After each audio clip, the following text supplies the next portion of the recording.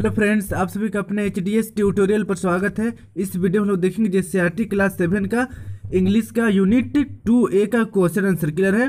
Unit two A का नाम है the eyes have it clear है? तो वीडियो के साथ बने रहिए और कहीं पर दिक्कत हो तो मुझे कमेंट कर दीजिएगा।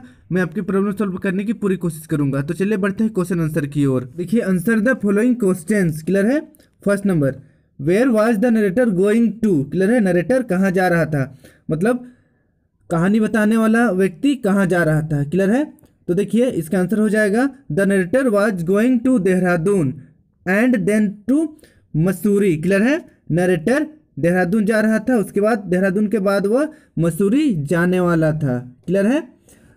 फिर देखिए सेकेंड नंबर सेकेंड नंबर का क्वेश्चन है describe Mussoorie in the month of October as describe by the narrator clear है? इसका हिंदी मीनिंग हो जाएगा नरेटर ने मसूरी को अक्टूबर के मंथ में कैसा डिस्क्राइब किया था, उसको लिखना है। क्लियर है?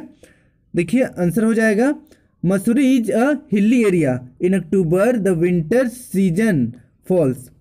The hills are covered with wild dahlias. The sun is delicious and at night one can sit in front of a log fire. Most of the tourist have gone. And the roads are quiet and almost deserted clear है? तो देखिए, इसका Hindi meaning हो जाएगा कि मसूरी एक पहाड़ी area है। क्लियर है? उसके बाद देखिए इन द अक्टूबर अक्टूबर में यहाँ पर ठंडा का मौसम रहता है। क्लियर है? विंटर मतलब ठंडा का मौसम रहता है। The hill hills are covered with wild dahlias तो देखिए, पूरा का पूरा पहाड़ी वाइल्ड डेलियाज से कवर्ड रहता है, घिरा हुआ रहता है। उसके बाद देखिए next the sun is delicious and at night one can seat in front of fire log clear है? लोग फायर तो देखिए, यहाँ पर सन बहुत ही सुहावना होता है और रात में लोग आग के सामने, लकड़ी के, लकड़ी को जलाकर आग के सामने बैठते हैं क्लियर है? उसके बाद देखिए most of the tourist have gone ज़्यादातर टूरिस्ट जो रहते हैं वापस आ चुके रहते हैं, इसीलिए रोड थोड़ा सा शांत शांत रहता है क्लियर है? रोड में सुनापन रहता है। फिर देखिए next three number three number का क्वेश्चन है the narrator says you have an interesting face why does he think that it was a safe remark clear है? तो देखिए नरेटर कहता है कि you have a interesting face आपका चेहरा बहुत ही दिलचस्प है क्लियर है? तो लेखक ने ऐसा क्यों कहा? ऐसा मतलब क्या सोचकर कहा? तो देखिए, आंसर हो जाएगा, the narrator thought saying about a girl that you have an interesting face. It was a safe remark because few girls didn't या did not like flattery. No other words are so daring according to the narrator clear है narrator ने लड़की को कहा कि आपका चेहरा बहुत ही इंटरेस्टिंग है और ये उनके लिए सेफ़ रिमार्क था क्लियर है। तो देखिए उसने ऐसा इसलिए कहा था क्योंकि कुछ लड़कियों को चापलूसी बिल्कुल ही पसंद नहीं होती है क्लियर है। तो नरेटर के बाद नरेटर के पास इससे अच्छा वर्ड या फिर आ, ये जो लाइन है you have an interesting face इसके अलावा और कोई दूसरा वर्ड नेटर के पास लड़की के लिए नहीं था। क्लियर है? फिर देखिए फोर नंबर फोर नंबर का क्वेश्चन है she had beautiful eyes but they were of no use to her clear है? Whose eyes are referred to here why were the eyes of no use to her clear है?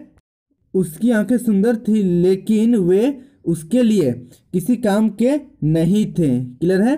यहाँ किसकी आँखें के बारे में बात हो रहा है? क्लियर है? यहाँ पर किसकी आँखों के बारे में बात हो रहा है? और जो आँखें हैं वो यूज़ मतलब उसका कोई काम यहाँ नहीं है, क्यों? तो देखिए, इसका आंसर हो जाएगा, the girl's eyes were referred here. Clear है? लड़की का आँख के बारे में बात हो रहा है। They were of no use to her because she is completely blind. For a blind girl the world beautiful is of no use clear है? इसका हिंदी मीनिंग हो जाएगा कि लड़की की आँखों के बारे में बात हो रहा है क्लियर है? और वे उनके किसी काम की नहीं है, क्योंकि वह पूरी तरह से नेत्रहीन है क्लियर है? ब्लाइंड है। और ब्यूटीफुल वर्ल्ड में ब्लाइंड आइज़ का कोई काम नहीं है। इसे नोट कर लीजिए, फिर देखिए फाइव नंबर फाइव नंबर का क्वेश्चन है do you think that the girl told any lie give reason for your answer क्या आपको लगता है कि गर्ल ने कुछ झूठ कहा था? अपने आंसर का कारण दीजिए। तो इसका आंसर हो जाएगा आई डोंट थिंक सो मुझे ऐसा नहीं लगता है। She didn't tell any lie वो कुछ भी झूठ नहीं बोली थी। As the narrator didn't remark anything personal for he was blind and he didn't ask anything more clear है?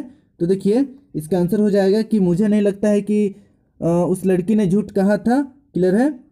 जैसा कि कथाकार ने भी कुछ व्यक्तिगत टिप्पणी नहीं दी। क्लियर है? कुछ पर्सनल टिप्पणी नहीं दी थी क्योंकि वह अंधा था और उसने कुछ नहीं पूछा। क्लियर है? फिर हम लोग कुछ एक्स्ट्रा क्वेश्चन देखेंगे।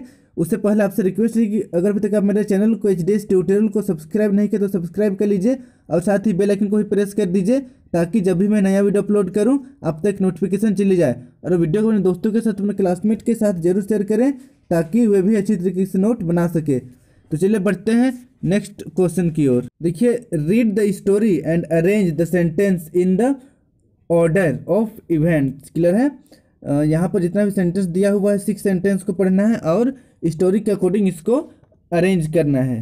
क्लियर है? तो देखिए, इधर मैंने मार्क कर रखा है one two three four five six clear है? तो इसी अकॉर्डिंग में आपको आंसर लिखना है। सबसे पहले थर्ड नंबर को लिखना है, उसके बाद फ़र्स्ट नंबर को, फिर फाइव नंबर को इस तरीके से। तो चलिए एक बार मैं इसको रीड कर दे रहा हूँ। देखिए फ़र्स्ट नंबर यहाँ से क्लियर है। फ़र्स्ट है तो इसको पहले लिखना है। I had the compartment to myself up to Rohana then a girl got in clear है? फिर देखिए सेकेंड नंबर है। Are you going all the way to Dehra I asked clear है? फिर देखिए थर्ड में इसको लिखना है। I turn from window and faced the girl and for a while we sat in silence clear है? फिर देखिए, इसके बाद आपको लिखना है फोर नंबर का, इसको। The girl got up and collected her things clear है? फिर देखिए next fifth number she was standing very close to me clear है? फिर देखिए last six there was some confusion in the doorway